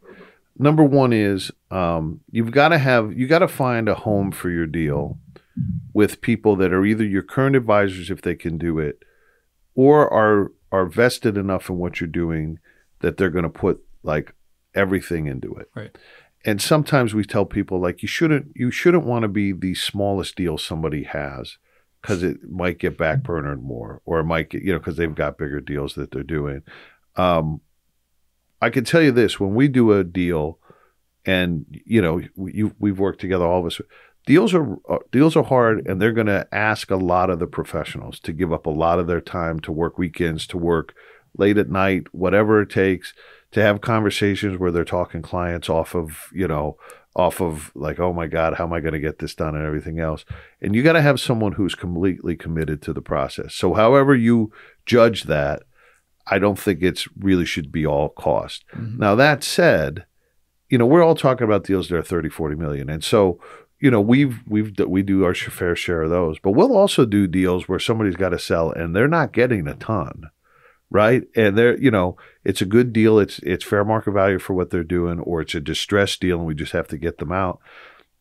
They, they've got to try to preserve as much as they can of that deal by not overpaying, but they've also got to get the right work. So it's like, it's like when you're pricing anything else, like, you know, what's the right whatever for the for the job you're doing right you know what i mean it's like it's like when i bought my tools i didn't spend a lot of time looking at them because i didn't plan on using much of them at the house you know i hire people for everything but if you're um, you know if if that's your business you better pick the right one i'm just saying it depends you know it it cost is part of it and I think, you know, just run into New York City or, or Philadelphia, you could theoretically be in a position where you're going to pay way too much to sell your business. For lack of a better term, you, you may not be able to afford it. Mm. So you got to find something you can afford, but I think you got to find a, a quality that, that they're going to get the job right. So wise shopping, I guess, is the way I would say it. You know what I mean, Bob? It's No, and I and I and I one of the critical issues that I get with you know Paul's law firm is a great law firm. There's other great law firms in Pennsylvania. But when when the client first starts off with what's your fees, hmm. I would raise a red flag because they're shopping price, mm-hmm. not shopping the value proposition that comes with it. You know, my first question would probably be to Paul, Paul, what deals have you done in my range, the my type of industry, how deep is your team, those type of things, and not worry about price. Same thing happens with the CPAs. I mean, the, the, I'm I'm past accounting background too. What, what irritates me with accounting is audits became a commodity. They never needed to be a commodity. There's a value there that goes beyond commoditizing that service. And you know, I think the selling the value proposition, whether we're selling it or delivering it, and the best way to deliver it is references too. I mean, I think if if I I, I refer Paul's firm a fair amount, and I'm very comfortable saying, you know, this is experience we've had with Paul's firm. I mean, he represented an Amish guy, um, a buyer of an Amish company, hardwood flooring manufacturer. I mean, books and records were a challenge there. The, the schedules were a challenge to put that together, but it came out to be a win-win for everybody involved there. And and so, you know, having references of, is is a good place to go. But I don't think people should be focusing on. They, obviously, they want to be careful if they go to a New York or Philly firm. I mean, Paul knows this story. We had a deal we did in Scranton two, three years ago. There were 45 attorneys on the first intro call to kick off due diligence. Wow. And it was on Zoom. So just till you got to the introductions going across Zoom, Are you how much legal fees were there just Oh, to yeah. charge for that Just introduction? an introduction. It was a public company that was buying somebody, so they paid the legal fees, but it was So uh, actually, I think it was December. Scott and I had a really nice meeting with an attorney down in Scranton who talked about how he walked a, a, a, a business owner right up to the finish line. And at the last minute, the 11th hour, the, the, the guy basically said, you know what? I, I don't really want to sell my business. And, and part of it was maybe this catches you guys by surprise. Maybe you're not surprised by it. He said, I don't know what I'm going to do. He was young. Hmm. And he said, I, I don't want to be one of those guys sitting – you know, at a, at a country club somewhere with money in the bank, but nothing to do than other than tell people that I used to be really good at something. And so psychologically, they weren't prepared. And so, Scott, I guess, I mean, going back to the planning, I mean, isn't that your role to sit there and say to that person, like, number one, are you ready? What are you going to do after? I know we do a lot of counseling for retirement, saying, you know, what's that next chapter look like? It doesn't mean you can't retire. Some a lot of people can are financially just fine, but mentally they're not prepared. We've yeah. had a couple of folks on our our TV show or our radio show, as you like to call it, Paul, on this podcast talking about it. it took them a long time to adjust to that next yeah. chapter. Um, isn't it your isn't it the role of the planner to get them to that? And, and does that shock you guys that somebody might pull out for that reason at the end? No. No, um, no. I I find it's even worse with a family-owned business. Mm-hmm. They That's feel like yeah. they're they feel like they're selling their sort of like the family, you know, the family unit. Yeah. It they feel like a sense of of, of they're almost being disloyal and the everything. Legacy else. is going. Yeah, yeah, mm-hmm. and so you know, it's it's funny. It's like you're when you're advising everybody, you also have to understand your client. I think on everything else and where they're coming from, and and it's not always only money. Yep. Right. And so there's an emotional mm-hmm. component, especially with selling a business, especially at the end of your career. I've had people get, and I'm recently I've been talking to a client about how worried they are about their community because the community is one that sort of relies on the business.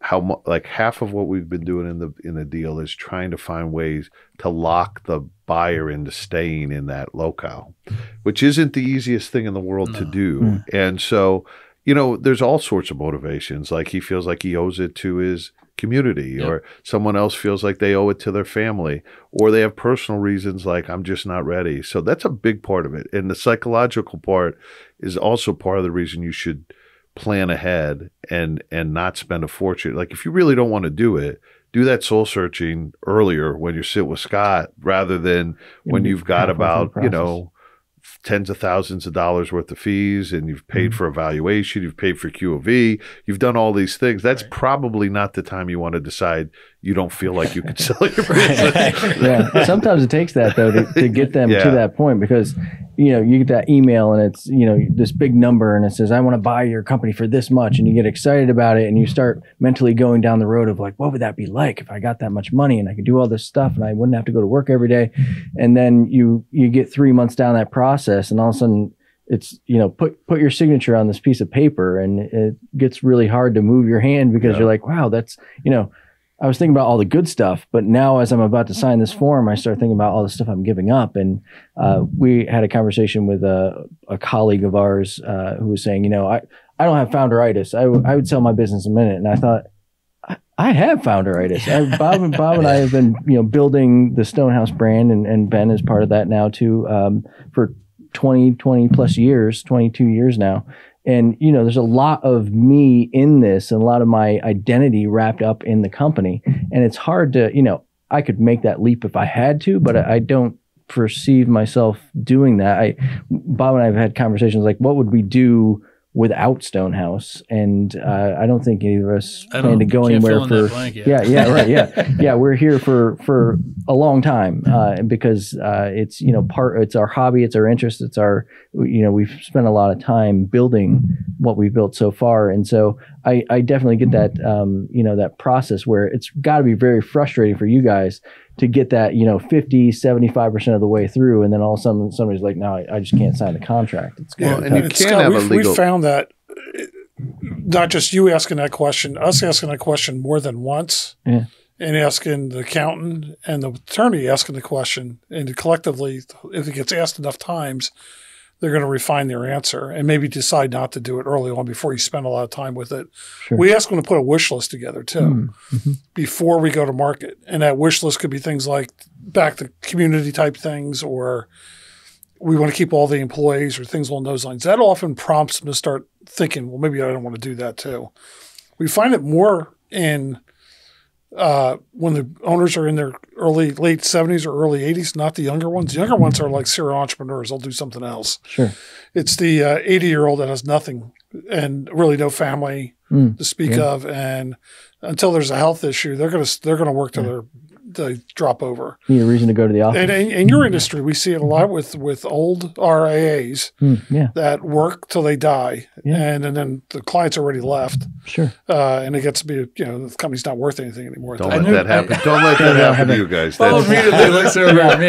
You, you got like one foot 52, in that. That's more than just a buy. That's a lot of a lot of small town professional industry is that way. Yeah. And, Yeah. and, and and I see a lot of transactions actually in the small town professional space that will that will blow up over the key employee Hmm. because it's not guaranteed that they're going to be retained. And they're Right. like, if you're not going to keep them, you're not getting it. You Right. know, and I've I've seen that plenty of times where where they've had someone working by their side for 35 years, and they're like, if you're not if they don't have a job, there's no nothing for you to buy. Yep. Um, definitely. Um, Yeah. So there's a lot of emotion involved in that in that level, and there should be. Yeah. You know, you've, you've put your soul into it for a long time. Hmm. But you have to be a little bit careful because, you know, that buyer is going to have a ton of money invested.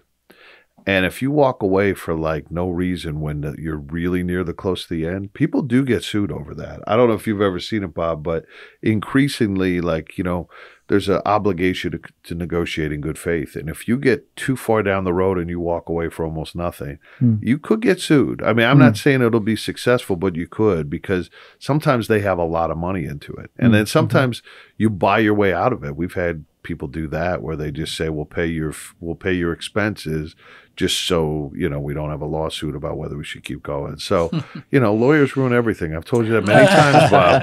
It's your job, I think. Yeah, we First time I tried. heard that. Um, hey, so we're all right. We're pulling up on one and a half hours here. Before I let you guys go, though, if, if you have a few more minutes, um, can we talk about the types of buyers?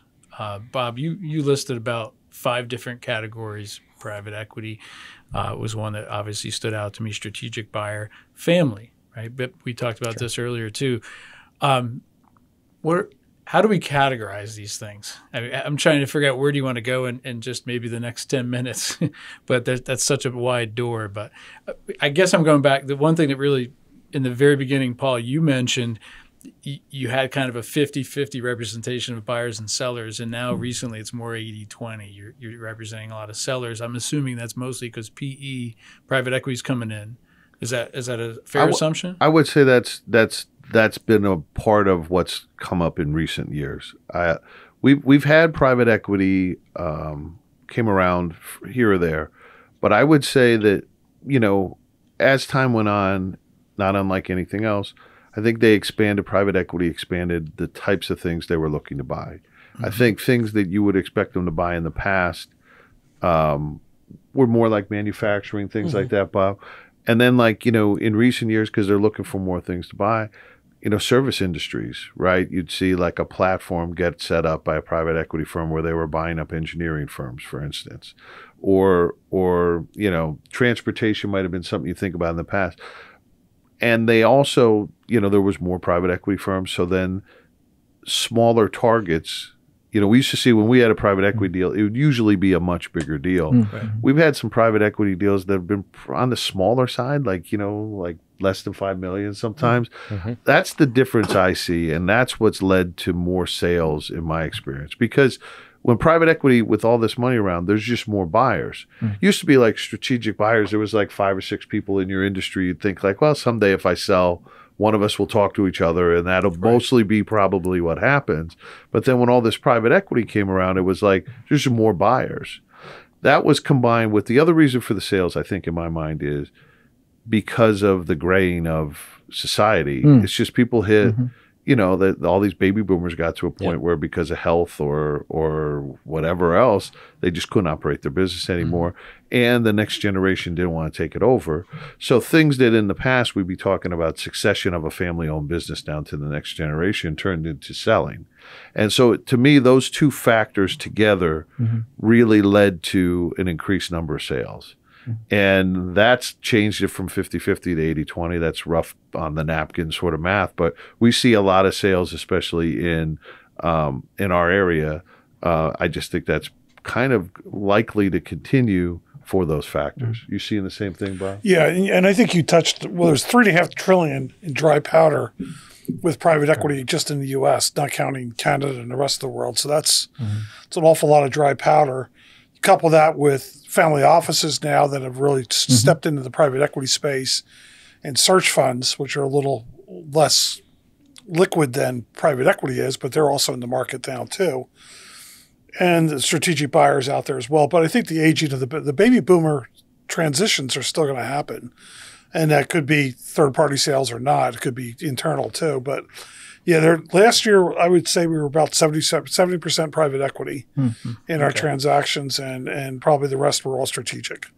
And So the interesting things about the private equity, uh, just to give a little background on that, they're it's basically large pools of money put together from millionaires and billionaires, and then they hire a team to go out and acquire firms without the intention of operating them in most cases. for the most part. There are there are operating private equity firms out there too that might have been in some industry, and uh, you know, fire and safety, for example, they might have been in that industry. Non competes up. They partner with a private equity firm as a as an executive on the team, and they'll invest some of their own money and buy that that type of uh, industry. You know, Paul touched on uh, an engineering firm. There's more and more engineering firms owned by private equity than I was surprised with, and uh, those are operating people mm-hmm. with a PE with a private PE equity back background. Uh, but yeah, Paul touched on it. They're they're they expanded to what they look at. I mean, it used to be mm-hmm. the same thing. I get 30 emails a week from private equity. We want two million dollars plus in EBITDA, recurring revenue, no customer concentrations, hmm. and the leadership team is still in place. You know, they all look the same. Differentiate yourself. So they have done that. Mm-hmm. But I my first note of that was I was in Dallas for a, a private equity conference, mm-hmm. taking an Uber out to dinner with one of the PE guys, and I just bought five landscape landscape companies. Landscape company that doesn't feel like a private equity type deal. They see it as recurring revenue though. You hmm. have to get you know, especially down south. So even like pool supply and pool maintenance companies, I never thought that would be a hmm. PE sure. type interest, but we're seeing a ton of those. But they're hmm. you know trucking companies. They used to be afraid of trucking. Now they're in trucking. Mm-hmm. I mean, it's they've expanded their what they're willing to do. Yeah, and deal And- sizes are smaller. Probably have a more streamlined way. Well, they'll do add-ons at zero EBITDA if it's a fit in their in their Hmm, yeah. organization. If they can make it accretive, and and you know, or even down to five hundred thousand dollars in EBITDA. And there's smaller PE firms out there that are a little bit of financing dependent, but they'll go down to that 750 500000 dollar EBITDA type type Yeah. transaction. So Yeah. it's um, you know we. We had a PE bioelectrical contractor last year, Mm-hmm. shocked the daylights out of me. They would go after a small, non-recurring revenue electrical contractor. Yeah. No pun intended. I'm. Yeah, I just Yeah. No. You know, um, the the the thing about the diff when you're differentiating buyers, and you what you guys talked to them up front about what you're going to want. You know, if they're if the concept of rollover equity is something they Mm. have no appetite for, especially if they're older or something like that, it might change who Bob might say is the right buyer. Sure. Strategics are way more likely to not have rollover equity. Not always. Sometimes they have it, but it's less frequent. Private equity, you know, Bob mentioned they, you know, sometimes they ask you to do it. I've been involved with a lot, especially the service industry, where that's been a requirement of hmm. the deal. Yeah. And they push you See to that. have sometimes more rather than less rollover equity. One, you And have issue- skin in the game after the sale so that you have reason to make the stock to go up. Well, there's a couple of reasons. I mean, partly they might not want to come out of pocket with that much No, cash yeah, at the true. time, too. But you know, rollover equity has its share of issues, but it can be lucrative because when they recap and they go to the next sale, Mm-hmm. Right. and you're part of that equity, that Yeah, could really be higher helpful. multiple, yeah. But you have almost no control. I mean, Bob and his team do a good job, and we try to do the same to try to get as many protections as you can.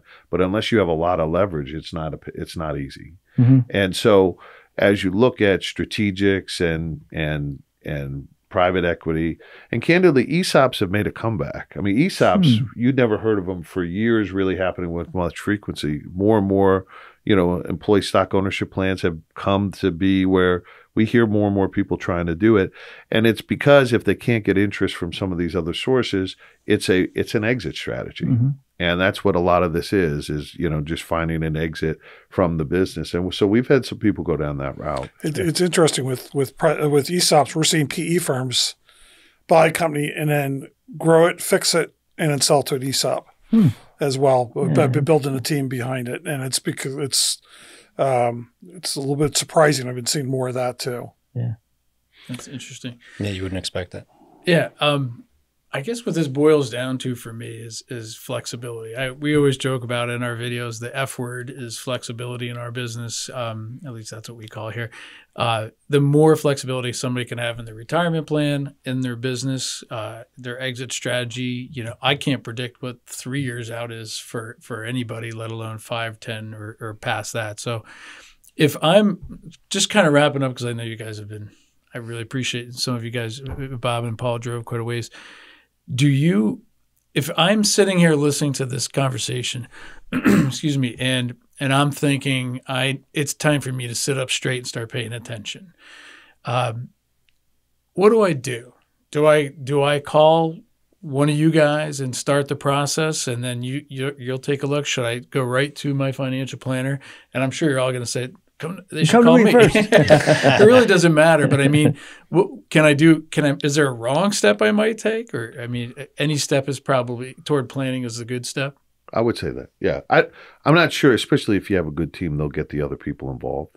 Right. Right. So next professional you're speaking to, you know, talk to them about it. But if not, you know, call any of us. I think it's if you have the right team together, Ben's not going to wait long before he says you should talk to Bob, or you should talk to Paul, you should, you know, and that's the same way we are. I mean, you know, I almost every email I send out to somebody is make sure you look at have, have your tax advisor look at this mm-hmm. because they need they know more tax advisors know more about businesses than almost anybody because you guys deal with them more. Mm-hmm. And and your investment advisor the way you guys do it you know more about the business than anything. You probably you know went to their child's baptism and everything else you know you guys get to know your clients Play really well. game. yeah. But but you know the same thing with bob. I just think you know making starting the process because it is a process and getting you know starting to think about it and and it and it's sometimes it comes in fits and starts because everybody's busy. So you start the process and then you make sure you keep getting after it. But the sooner you do it and the better prepared you are for this when that email comes in with that big number you're ready to do it. And mm-hmm. to me that's the most important thing. And if i were talking to any business owner out there i would just say it's too important. You've put too much effort into it not to do the things you need to do to get the most money out of mm-hmm. it and I that's that's my view of It's it. important to remember that you are going to need a team. So if you go to your trusted professional, you go to your accountant, he says, "I'll just handle it all for you. Don't worry about it." It's probably not a good option for you, and you're you're Oh, going to need flag. other team. yeah that'd be Yeah. a red flag Yeah, and so maybe look around for other trusted professionals that you might be able to that might work on a team because there's no way for any of us to know all of the things that are involved in all the pieces here, and so you're going to have to have four, five, six, seven people sometimes around the table to make these things happen. people regularly say to me like well you know how much do you think my company's worth? I go i have no idea. Call bob.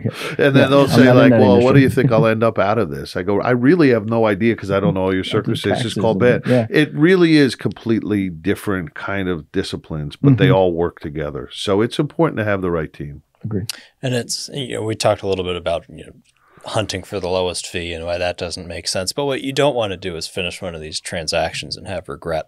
right Right? You put your life's work into this thing that you built, and then you, you save some fees to sell it for far too low, and have that thought in the back of your mind. Right? Right. You, you don't want to carry that. You want to do it right. You want to get the most value that you can out of your out of your work, um, and and feel good about what you've done. Uh, So, call your professionals. Mm, agree. I agree with everything you said. And, uh, That's a I nice way think though, wrap asking your professional, the first one you talk to, what kind of experience do you have with this, Mhm. and what the people that refer you to, what kind of experience do they have? Mhm. Um, if they do, back to that legal example that we recently had, if they did one deal a year in M and A and have never done a deal in over twenty million dollars to a private equity firm, they're not going to be the right, probably the right firm.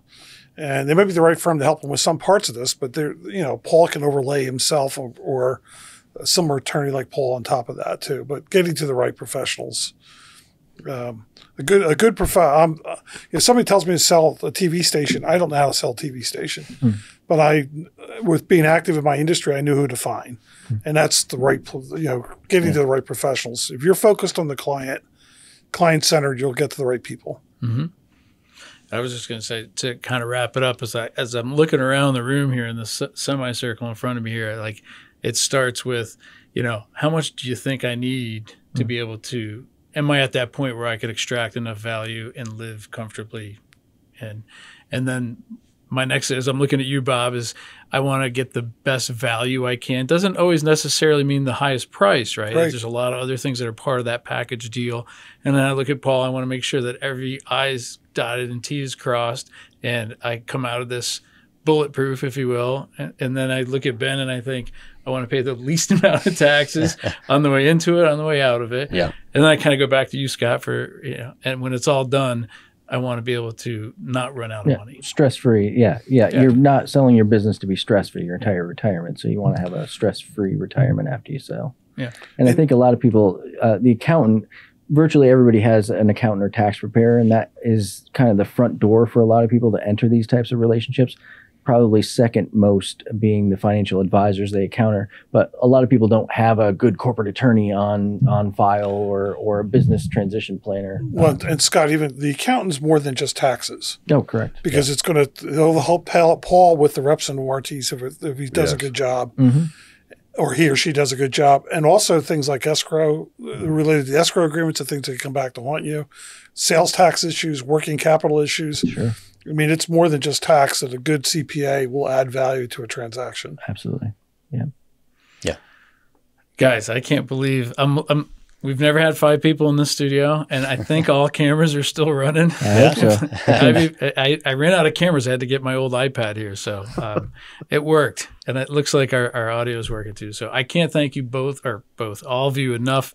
Um, again, I know you guys drove some time uh, and put some time in. You guys have a ton of experience on these topics, and it's been great. I'd love to do part two, Hmm. but uh, I really appreciate this one. This was, this means a lot. That'll be great. Let's try Thank to you. do a part Yeah. two. Yeah. I like being down here. It feels like Wayne's World. It's awesome. Oh, yeah, Party time! Actually, yeah, it does feel a little Wayne's World. Anyway, I'll do the whole thing. You know, I dressed up as Garth for Halloween back in college. It was a big hit, but that was 30 some years ago. The reference died a long time ago. Yeah, you can't get right. away with thank that you. anymore. Thank you. Thanks for having Thank you very much. Thank you. Appreciate it. Thank All you. right.